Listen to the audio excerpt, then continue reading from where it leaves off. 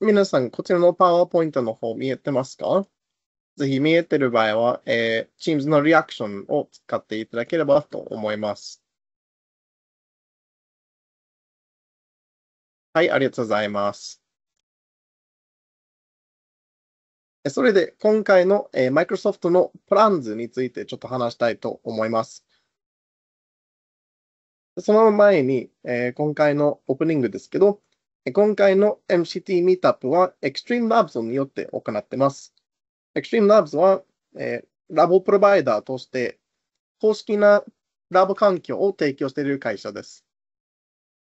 なので、必要な Azure の環境、えー、Power Platform の環境、MS のの環境を Microsoft の公式コースを提供するとき、Extreme Labs と一緒に、えー、行ってお客様のハンズオンの経験になるようにお願いいたします。Uh, Maury, did you want to say any greeting or hello from Extreme Labs before we kick off? Yes, absolutely. First of all, uh, good morning from uh, Washington, D.C. The time now is uh, 7 a.m. in Washington, D.C. on Monday. I welcome all of you in Japan. As uh, as Joshua said before, I am uh, my mother is Japanese, but unfortunately, I don't speak Japanese. But nevertheless, I welcome you, and um, I look forward to a great session with Joshua. And hopefully, this is one of many um, webinars and sessions for you. And as always, we are here to support the MCT community in in Japan. I've been doing this for 32 years, and I'm uh, proud to say this is my first uh, first webinar in the Japanese language, so it's a it's an honor, and uh, we are here to support you. Joshua can translate anything that is needed from uh, from me, from Extreme Labs, uh, whether it is uh, off the shelf regular labs or you would like something customized, we can actually do the labs in the Japanese language. So not that is not an issue whatsoever. And just that you know, so we are an official Microsoft um, partner. What, what does that mean? That means we are um, a lab provider for Microsoft. There are, and there are only five in the world, and we are one of those five. So we carry that distinction with uh, with high pride. All right, that's it for me for now. Joshua, all the best, and uh, dear attendees, thank you for coming today. Awesome, thank you so much. もし Extreme Labs とか、え 公式ラボのプロバイダについて質問がある場合、私まで日本語でも大丈夫ですので、遠慮なく聞いてください。それで続いて、えー、プランズの方について話したいと思います。あ、でもその前に自分の自己紹介忘れてます。えー、私、ジョンズ・ジョシュアと申しますが、まあ、ジョンズと呼ぶ人はなかなかいないので、ジョシュアと呼んでください。マイクロソフト認定トレーナーの、えー、地域区域まあ、リージョナルリードをしてます。で、それだけではなく、Microsoft Learning Rooms のエクスパートということをしていて、日本語で技術について勉強できるコミュニティを支援しています。また、LinkedIn のマーケティングインサイドもしてますので、技術系だけではなく、マーケティングとかについても興味がある人です。で、こちらを一回ちょっと脱線して紹介したいんですけど、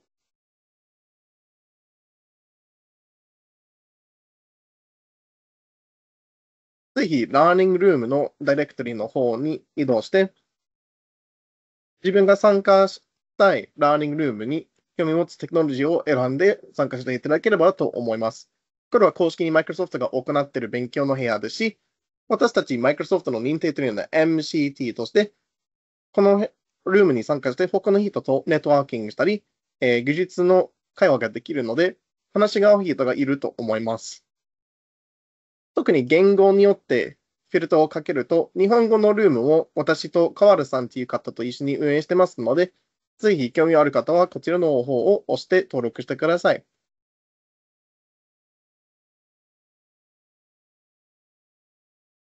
で私に直接つながりいただければと思いますので、えー、メールや LinkedIn でもぜひ何かあれば、いつでも遠慮なく連絡していただければと思います。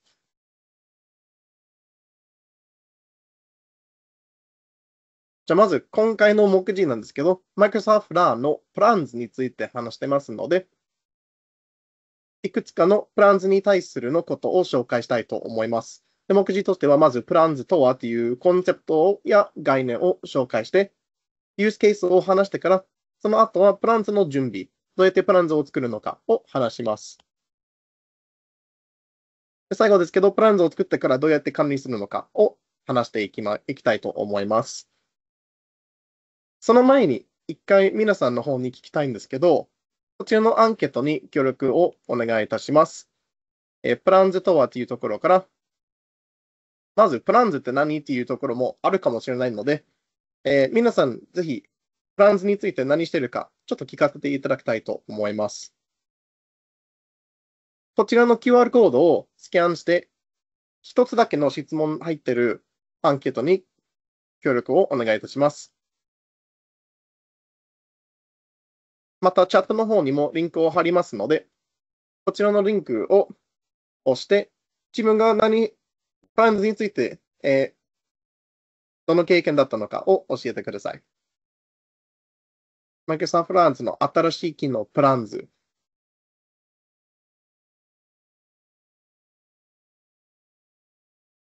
ちょっと2分待って、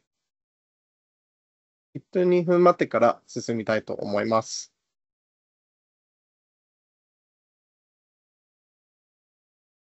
の方が見やすいかな。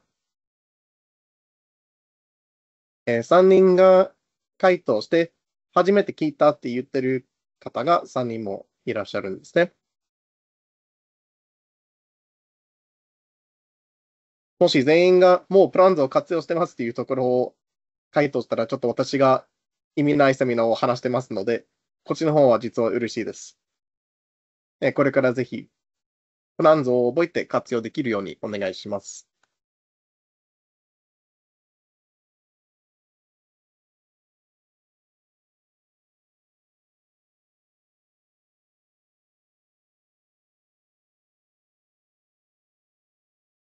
まだアンケートしてない方もいるかもしれないですけど、まあ、聞くだけでも大丈夫ですので、進んでいきたいいきたいと思います。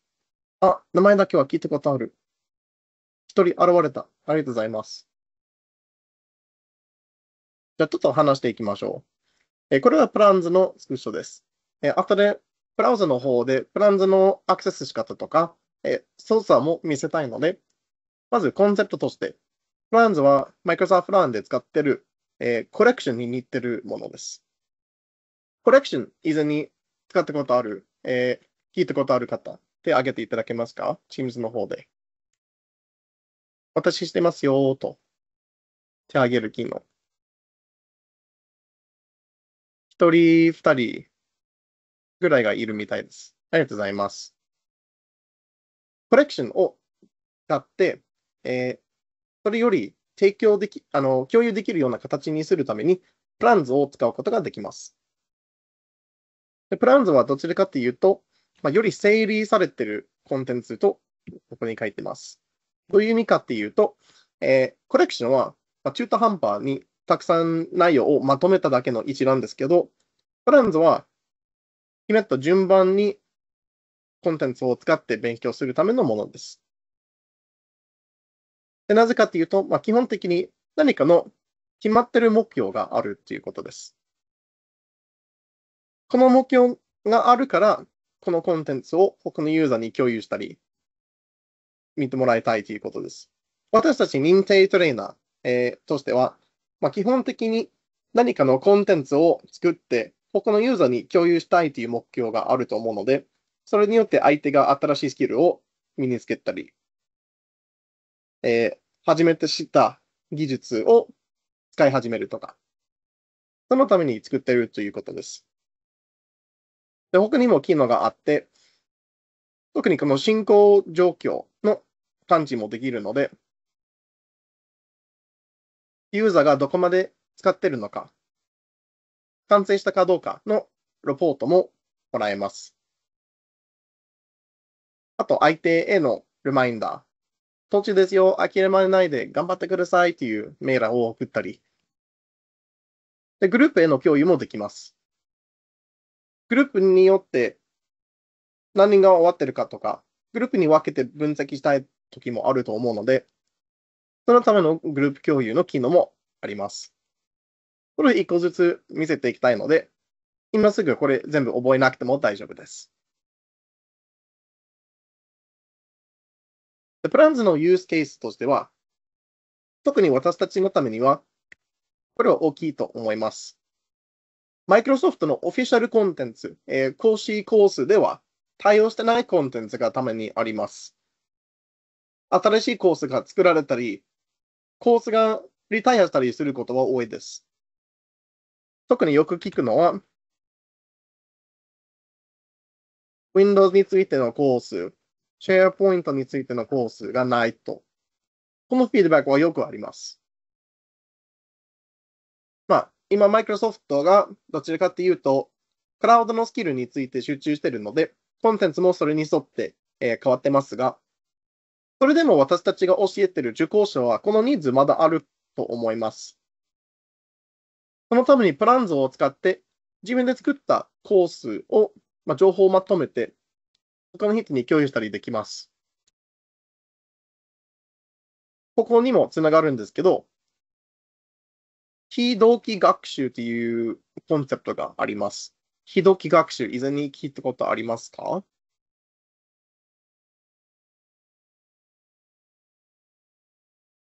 なかなか使わない用語と思うんですけど、えー、受講者と講師が同じタイミングで勉強する場合、えー、これは普通の学習なんですけど、まあ、宿題みたいに何かコンテンツを配布して、これ自分のタイミングで読んできて、来週また話しましょうっていう教え方が、えー、英語で言うと、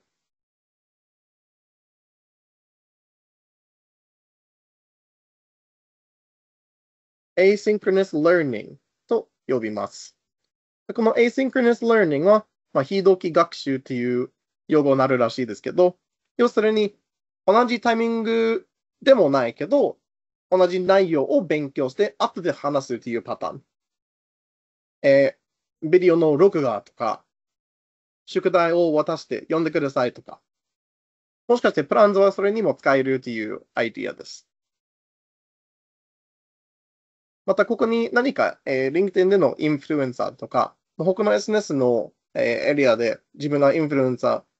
ー、フォロワーに技術についていつも共有したいっていう方がいれば、自分のフォロワーにこのスキルを勉強してみてくださいと、一般的のリンクをアップして、たくさんの人がそのユース、そのプランズを取って、そのコンテンツを勉強することができます。なので簡単にまとめたよっていう情報共有のために使えます。で、何か、えー、人事部の方であれば、うちの会社はまだこのスキルは足りないなと思ったら、えー、社内のスキルアップのためにも使えます。が、ランズはコレクションと同じように、これは Microsoft ランに以前に含まれているリソースしか使えないんです。なので、えー、外部の他の第三者が作っているウェブサイトとかを使って、情報をまとめることはできないんですね。Microsoft ランに載ってれば使えますが、それ以外のリソースはまた別のツールを使うことになりますので、セキュリティのためにその制限があることだけは覚えていただければと思います。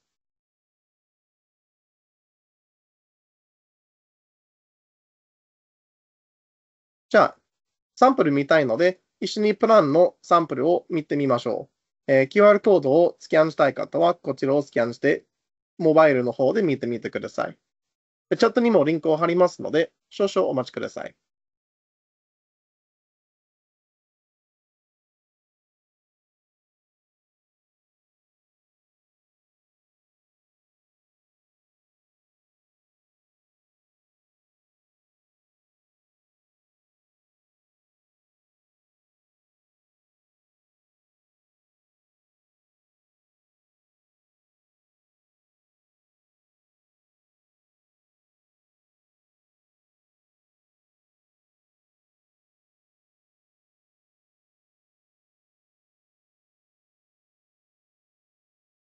これはプランズを紹介するプランです。少し変かもしれないけど。えープランズを使ってプランズをなれるということは、えーすごくわかりやすいと思ったので、これをちょっと作ってみました。でこちらなんですけど、えー私がサインしているからすぐ見れましたが、Microsoft LAN にまだサインしてない方がいらっしゃれば、サインする必要があります。サインしてないと、プランズは何ですかっていう、ちょっと紹介的な仕組みと書いてあったと思います。なので、ぜひ、えーサインしてこのコンテンツにアクセスしてください。で、こちらの方が、まあ、管理者の方からの表示なんですけど、皆さんはもう少し、少し違う、えー表示があると思います。多分こちらの開始ボタンがあるけど、他のボタンはもしかしてないと思います。これは管理者向けのアクションですので、後でこの機能を紹介します。ここに何、これに何含まれてるかっていうと、えープランの内容はマイルストーンに分かれてます。マイルストーンは要するにサブ目標と思っても大丈夫です。一つの大きな目標としては、プランズを勉強すること。で、結果としては、まあ、こういうことを学びます。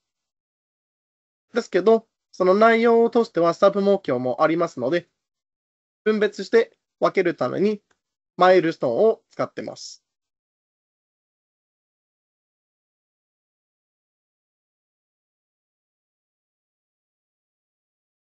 マイルストーンの進行状況もここに書いてますので、一つのリソースをアクセスして読んだら、こっちの方がアップデートされると思います。あ、か上下画面だからアップデートされないと思いますが、えー一回リソースにアクセスしたら、これが100%になって、この内容を完成したっていう表示になります。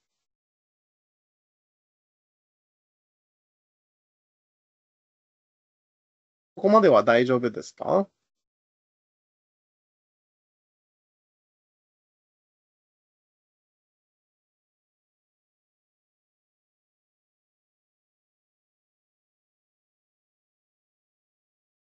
はい、大丈夫そうで、まあ、ぜひ私が話しながら、えー先ほど送ったプランズを使って操作してみても大丈夫ですので、よろしくお願いします。えー次は、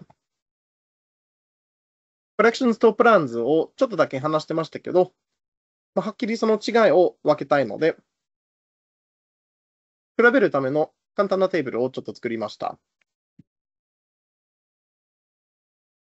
で、まだ Microsoft Run そんなに使ってない人に繰り返して、えーリマインドしますけど、この Collections はプランズになるためのものです。もともと前から Collections というものがあって、まあ、これは簡単的にあシン、シンプルにリソースをまとめるための機能です。ブラウザの方でも Collections があると思います。えー、Edge を使っている方は Collections って言葉を見かけたことあると思います。で、コレクションを使って、まあ、たくさんリンクの、あのーリンク先を保存して、でただこれは特に整理されてない、何のパターンがないものになります。ただの一覧です。で、目標のために特に作られたわけでもないので、えー気に入りのコレクションがデフォルトです。えー気に入りということはいろんな内容が入っていると思います。私の気に入りのコレクションを見ると、えーホワイトボードから、えートレーニング、えー Azure のコンテンツまで、いろんなトピックが 混ざってしまってますので、一つの目標に特に、えー考えてそれで作られたわけでもないんですね。あとは自分のコンテンツ、自分のコレクションなら、えー自分がものを完成したかどうかは見れるんですけど、他のユーザーにコレクションを共有しても、そのユーザーがどう使ったかの報告がないんですね。なので、その記録が残らないで、コレクションは一方的に、はい、どうぞっていう私になってしまいます。で、そのために、フォローアップも、まあ、不要の場合はコレクションを使おうと思います。これ作ったので使えばっていう共有だけならコレクションズは合ってますけど、結局それ読みましたかって後で聞かないといけないので、相手がちゃんと利用したかどうかを確認する場合は、プランズの方がそれに、そのニュースケースに向いてるということです。で、プランズは先ほど見せたマイルストーンに、えー、分かれ、分かれてますし、そのデザインによっては、一つの何かの目標に向けて、えー、作られたものです。で、あとは、そのマイルストーンの完成によって相手がどこまで完成したか見れるし、で、そのために、えー、レポートも出せますし、相手に最後まで頑張ってくださいというレマインドのメールを送ることもできます。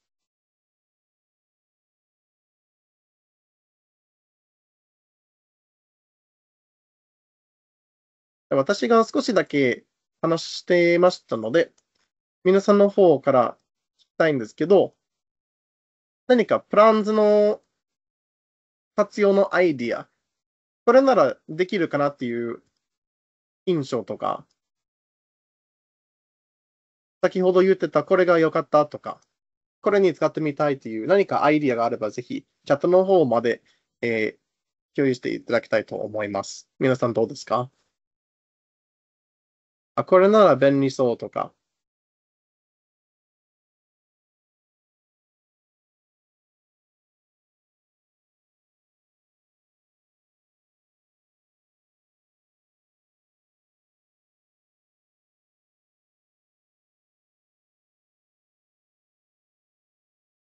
もしアイディアがなくても、何か印象的に残ったものでも、えー、書いていただきたいと思います。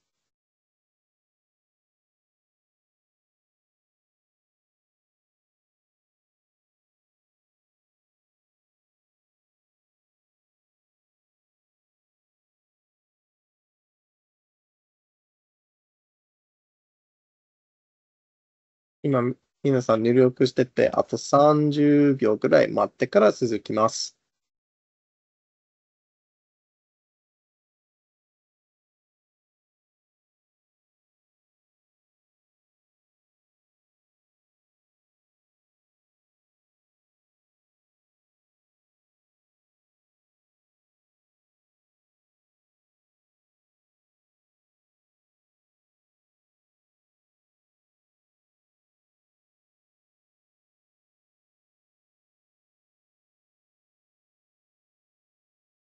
まあ、皆さんまだ考えていると思うので、続いて、えー、プランズの作り方について話します。でプランズの作り方ですけど、えー、先ほど私が言ってたように、コレクションズがプランになるということですので、まずコレクションを作らないといけない。コレクションを作ってから、機能を追加するために、プランズ化することができます。プランズに変更して使うようにえー、どの手順を行うのか、今紹介します。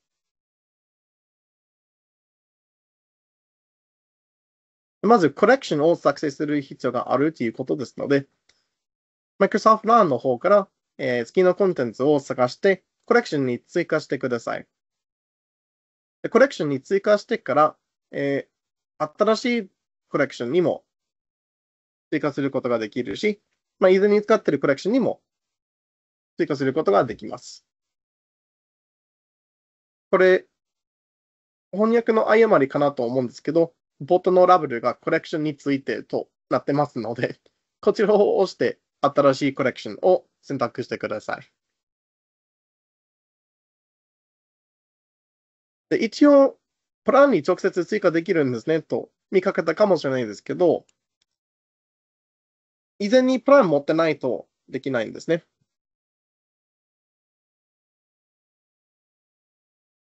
例えばですけど、こちらの右側の方に、えー、プランズを紹介するプラン、プランズを説明するプラン、ダイナミック365をかける LinkedIn の統合された環境。などのプランがあるけど、新しいプランを作るというボタンはないんですね。なので、新しいプランを作るには、えー、新しいコレクションを作ってから、プランズ化しましょう。新しい言葉を今日ここで作りました。プランズ化。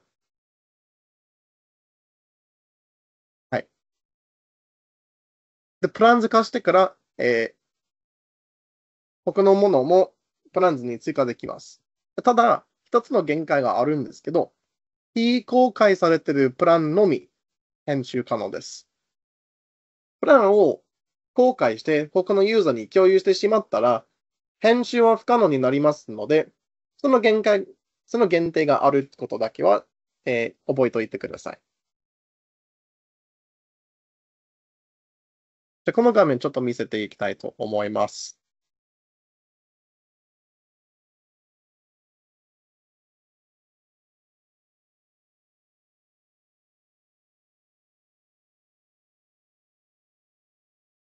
そちらの本の欄の、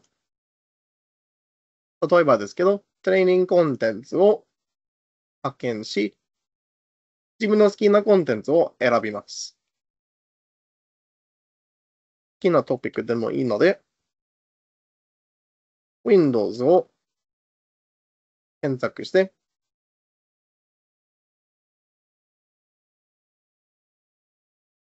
で、Windows 管理者のプロファイルを管理する。これいいですね。で、これを押して、追加っていうボタンがあります。追加ボタンを押して、コレクションについてを押します。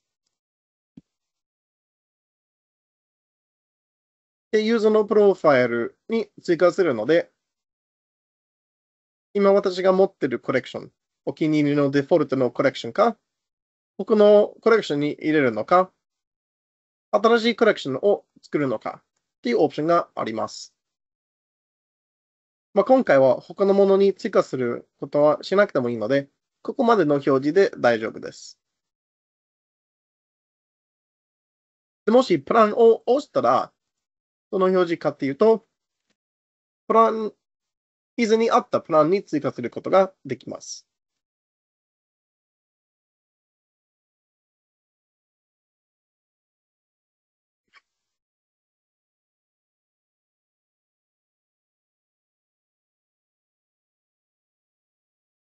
で、コレクションに追加してから、そのコレクションを、えー、プランズ化するために、コピーを押して、で、プランのボタンを押します。本当は理想的に、プラン専用のボタンあったら嬉しいですけど、一応、コピーの中に入ってますので、コピーを押して、で、プランを選択します。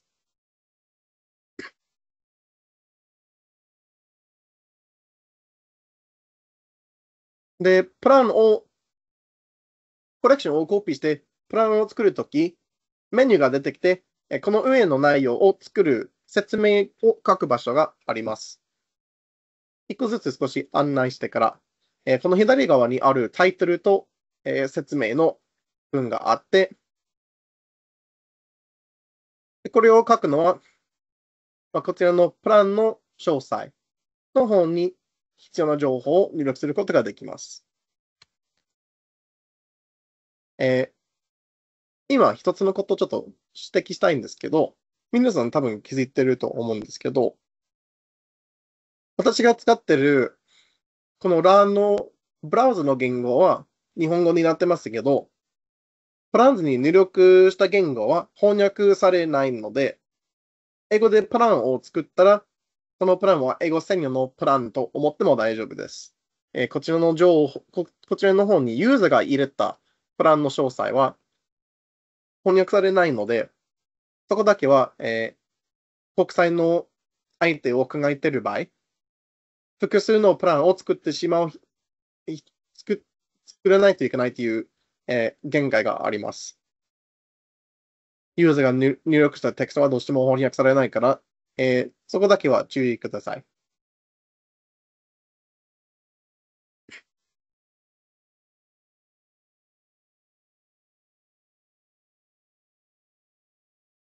でこちらの右側の学習の結果、えー、これももちろん書くことができます。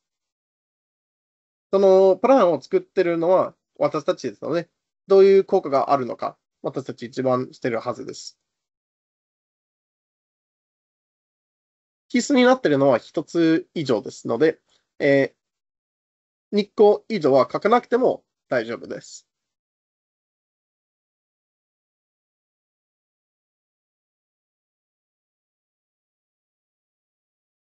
それしてるということで、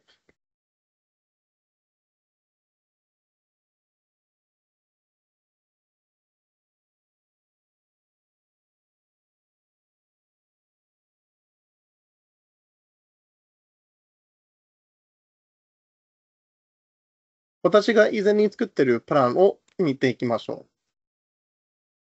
で、分けるために、えー公開済みのものが非公尾書いてます。で、まだ公開してないものが編集と書いてますので、その違いによって見分けてください。まだ編公開してないものを見ていきたいと思います。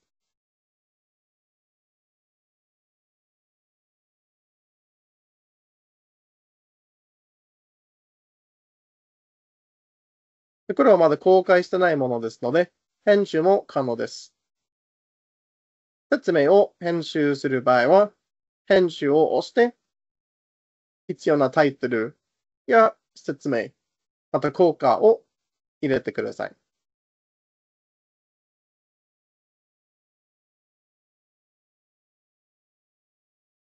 で、この下のマイルストーンの編集仕方ですけど、マイルストーンは結構、まあ、直接編集するものですので簡単と思います。えーマイルストーンの順番と説明。あとは、えー必須と書いてますけど、その日数は、あの、一つ以上しかないんですので、何時間とか、えー何分とかの機能はまだないんです。そのために一番低く設定できるのは、えー1日になってしまいます。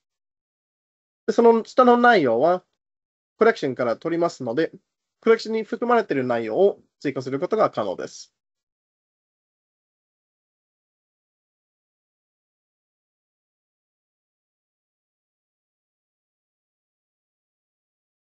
マイルストーンを編集すると、マイルストーン1の中のコンテンツの順番の並びも、えー変更できます。なので、ユーザーの方を考えて、基本的にユーザーが多分、これ使ってるときに、順番にこれを押して使ってると思います。これ1ですね。で、これ2番目に読みます。ほとんどのユーザーはそうですので、どの順番にコンセプトを紹介したいかを考えて作ってください。一番難しい、相手が知ってるっていう想定されてるような内容を一番最初の方に置くと、もしかして人が進んで全部完成してくれないかもしれないので、順番を考えてマイルストーンを作成しましょう。で、これはまあ2日間ぐらいかかるかなと私が想定して、このマイルストーンの目標を設定しました。で、マイルストーン2の方に追加リソースで、この追加情報みたいなエリアで、僕のインフォメーションも共有しています。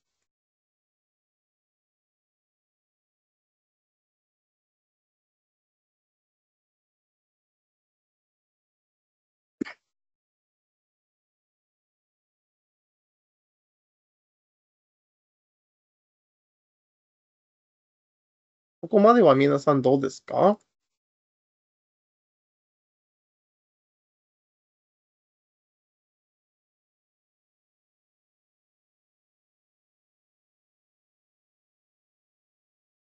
最後のステップなんですけど、えープランを作ってから公開する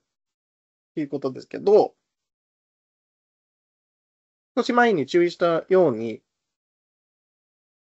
プランを公開してしまったら、そのプランの、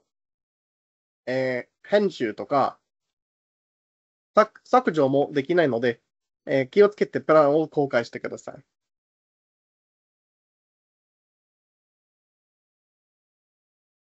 じゃあ、これは公開しますので、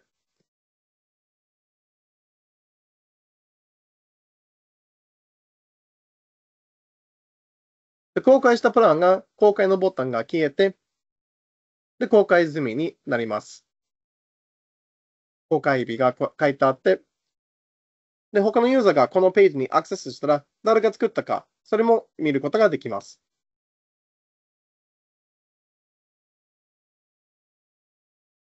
でこれを共有したり、ユーザーに、えー、使ってもらうことはできるんですけど、この内容を編集することはできないので、ここで打ち間違いがあったら、えー、新しいプランを作り直すしかないので、よく見て気をつけてから、えー、プランを公開してください。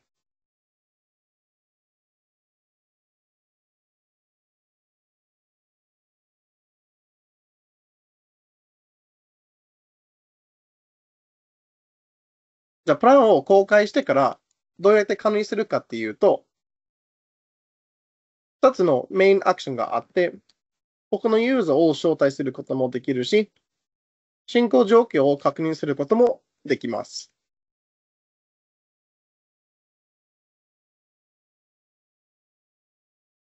まず、ユーザーを個人的に、えー、インバイトユーザーのパーソナルの方で招待すると、管理のボタンを押して、で、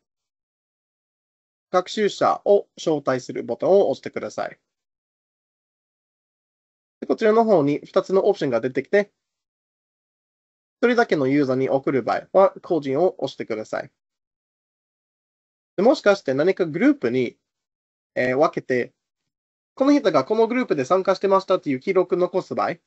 このグループに分けることができます。今日のセッションの中で私がプランズについてのプランを皆さんに共有しましたけど、そのプランズを、えー、紹介するプランは、実はグループを使ってリンクを共有してました。なので、えー、このプランを使って、えー、進んでいる人は、全員 Extreme Labs のテストグループから参加しているっていう記録が残ります。で、それを使って、私が、え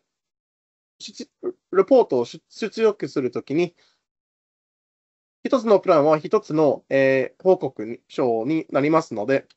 まあ、誰がどのグループから参加したかのデータポイントも残るように、これを設定しています。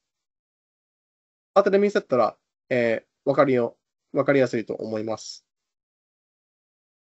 まず、個人的にも、えー、グループの方でも共有できるということです。まあ、これは割と簡単な機能ですので、管理を押して、学習者を招待する。で個人の方で、えー、リンクをコピーするのか、メールを送るのか。これを押すと、えー、メールのアプリケーションが起動しますので、どのメールアプリケーションで起動するか聞かれて、そこでいくつかのテンプレートの情報が含まれて使えます。今回私は特に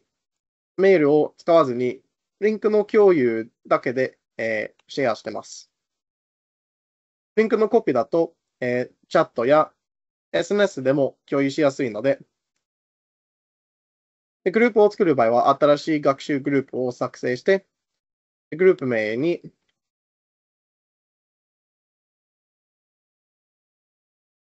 入力して、グループ名を入力してから、グループが作成されました。で、こちらのリンクとこちらのリンクは別のリンクになってます。共有した相手がグループ名に入ってるっていう場合は、こっちのリンクを使ってください。別にグループにも入ってない、えー、自分の友達とか、えー、個人的にお願いして人とか、その場合はグループに結ばないで、えー、こちらの方のリンクをコピーだけでも大丈夫です。グループを削除することは一応できるんですけど、そのグループに入ってたユーザーの方が結局、そのデータが報告に残ってしまいますので、だからこっちのリンクによってアクセスしたら、そのデータが残るので、えー、ここだけご注意ください。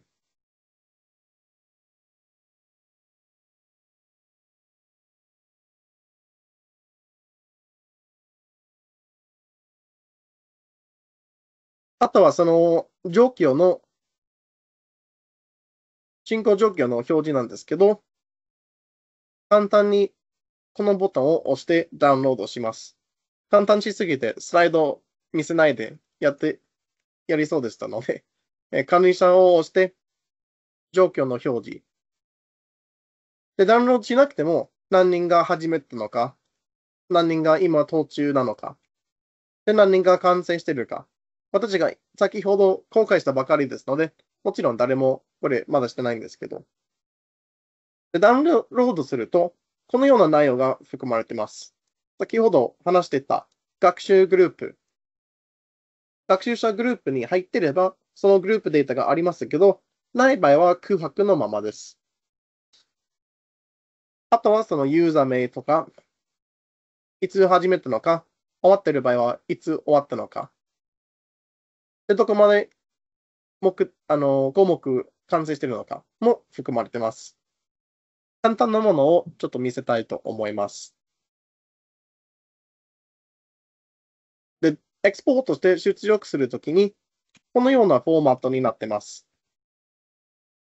実はこれはプランの ID と同じ名前だと思います。まあ、プランの ID は基本的に Microsoft プランの裏側の管理のために使う ID ですので、特に知らなくても大丈夫です。で、皆さんに見せるために、えー、ユーザーネームを消しましたけど、えー、ここにユーザー名と、そのグループの名前、えー、私が参加しているマーケティング、LinkedIn のマーケティングインサイトのグループがありますし、Extreme Labs のテストグループもありました。で、相手がいつそれを始めたのか、で、終わった場合はいつ終わったのかもここに書いてます。で、ちらっと見て最後までは進めなかったので、完成したアイテムは0となってます。何が完成にカウントされるかっていうと、えー、モジュールではなく、マイルストーンです。なので、私たちの内容で言うと、このマイルストーンは37%だけ完成していて、完成したアイテムは結局まだゼロですね。で、このマイルストーンは割と少し長いし、こっちのマイルストーンは多分見てる人がいないので、私のデザインの影響によっては、誰も完成してないっていうように、誰も見てないようにあの見えてしまいます。ユーザーがどういう経験をしてこれを使うのか、よく考えて、マイルストーンの順番とかを考えて、えー、内容を用意しましょう。そうすると相手が、えー、ちゃんとやる気につながって最後まで完成してくれるので効果的な、えー、プランを提供できます。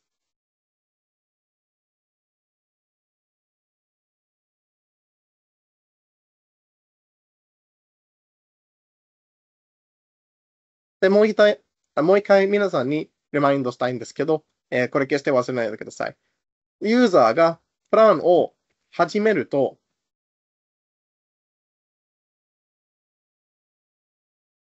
消すことができなくなるので、僕のユーザーに共有する前に必ず、えー、何かの打ち間違いとか、えー、テキストのエラー、誤りがあったか見てください。まだ誰も始めてないプランであれば、えー、削除することができるので、プランを削除して、もう一回同じプランを作って、で、間違ったところを直すことができます。人が始めてしまったら、それは相手の方のプロファイルにもデータが残るために、えー、プランの削除不不可能になります。こういうことがあるので、共有する前によく考えて作ってください。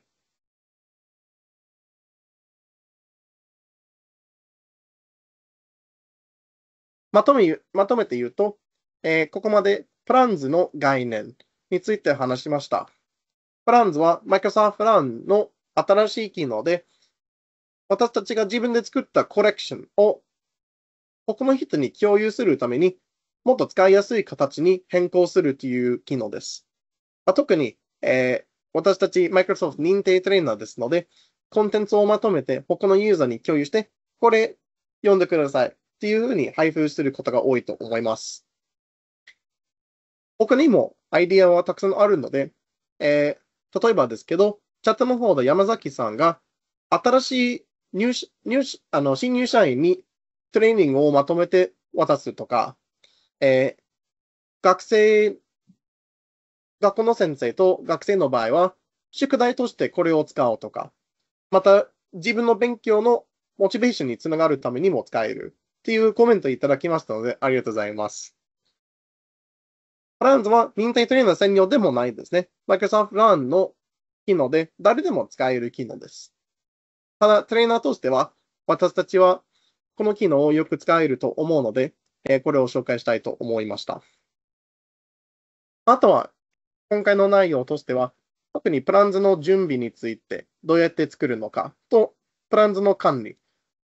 作成後の、え使い方について話しました。ここまで話して、皆さんの方から、えもう一回聞きたいんですけど、何かプランズについて印象的な、えこれは良かったとか、これは使ってみたいとか、何かコメントありますか？もしコメントある場合は、チャットの方まで入力していただければと思います。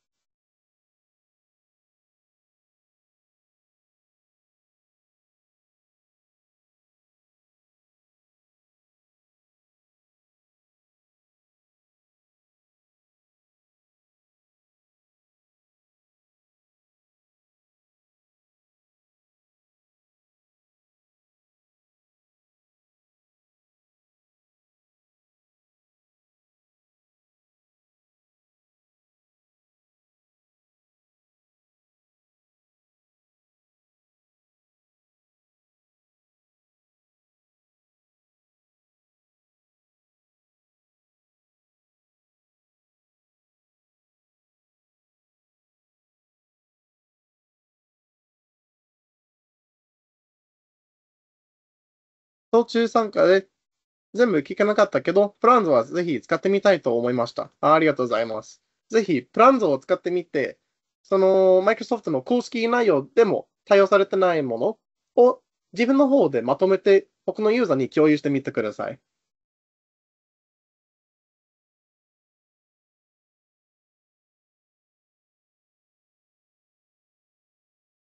作成されたものを使ったことがありました。おお、ありがとうございます。Microsoft も実は前から、えーこのようなものを使ってます。えー何か AI チャレンジとか、クラウドチャレンジとか、えービルドチャレンジ、そのようなチャレンジに参加したことある方は、これすごく似てる、見たことあると思うかもしれないです。で、この機能を考えて、Microsoft が、まあ、ユーザーもこれ使えるんじゃないかと思って、この新しい機能が今年の4月か5月、結構最近に出たばかり機能ですので、ぜひ使ってみてください。フィードバックありがとうございます。並び替えのできたり、その状況をトラッキングできるのが特に便利だと思いました。ありがとうございます。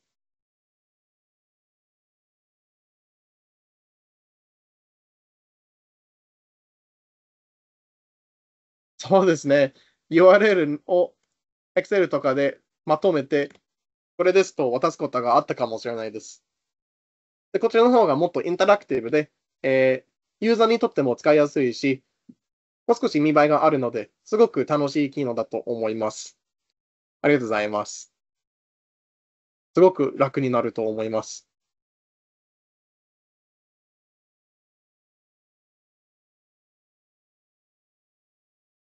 あ、ありがとうございます。説明わかりやすいと思ってくれてありがとうございます。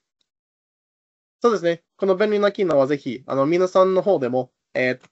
私、まだトレーナーでもないっていう方、えー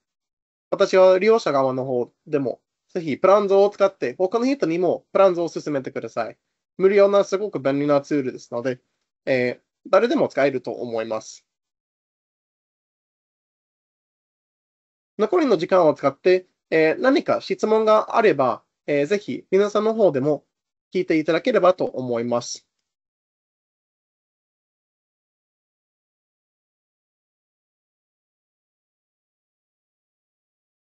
もし質問があれば、ぜひ遠慮なく聞いてください。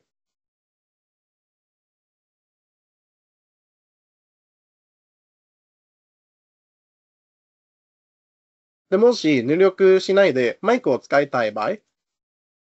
皆さんのマイクを有効にしましたので、えー、ミュートボタンを押して、えー、ミュートを削除して、マイクでも聞いても大丈夫ですので、ぜひ質問あれば対応します。皆さんどうですか？何か質問とか？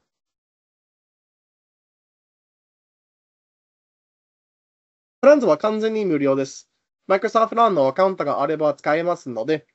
プランズを使って自分の好きな Microsoft ランに載っている内容をまとめて使ってください。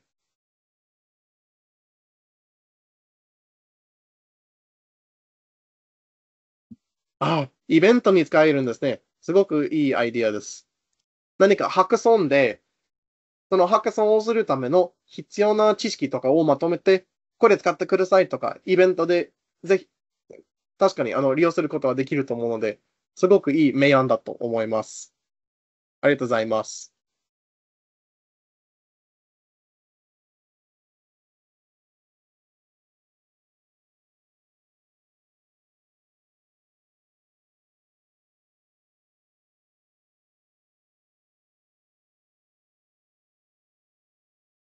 ありがとうございます。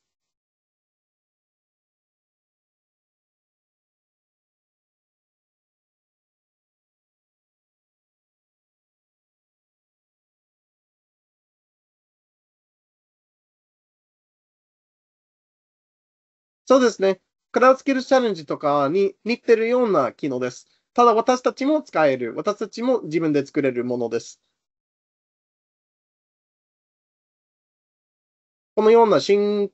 行状況をトラッキングするものがあったらいいなって、マイクロソフトがフィードバックをもらってますので、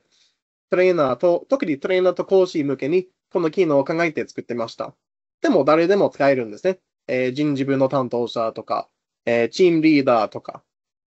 マナージャーでも、えー、この機能を使って、周りの人の、え、技術の教育につながると思います。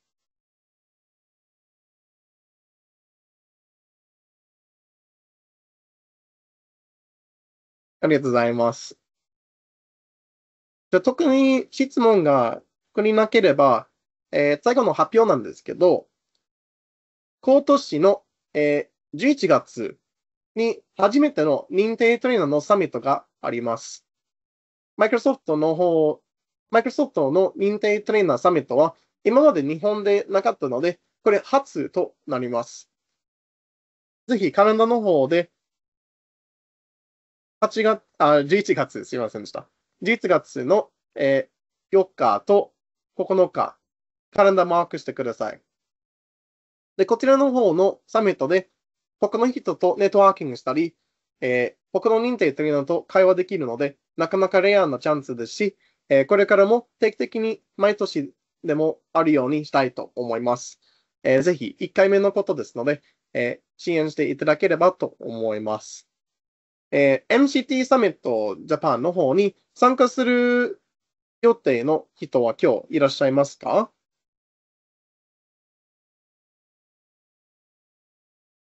あ、そうですね。野口さんはスピーカーの予定ですね。ありがとうございます。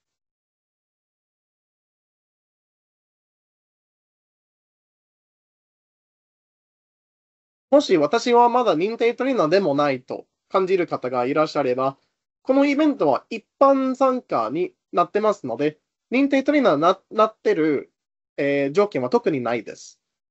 認定トレーナーについて興味があるとか、えー、認定トレーナーが喋ってるイベントに行きたいとか、そのような方でも大歓迎ですので、認定トレーナーになってる必要は特にないです。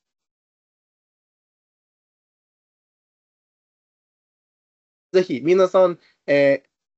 もし認定トレーナーとか、まあ、技術詳しい人、また何か共有したい人であれば、スピーカーの登録もお願いしたいので、あと自分の同僚とかでも、ねえねえ、これ行きませんかっていう共有いただければと思います。イベントの会場が東京に決まりましたので、ぜひ11月はまた東京でお会いしましょう。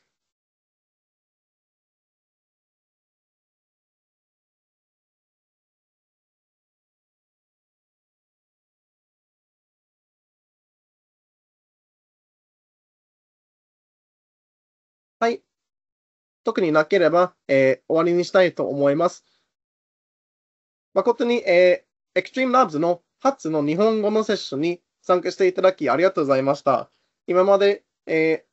ー、MCT 向けのラボプロバイダーのセッションはなかなか日本語を提供しているのがなかったので、この機会に参加してとっても光栄に思っています。えー、終わる前に一回、えー、森さんの方に戻って何かコメントがあれば、えー、話していただきたいと思います。Anything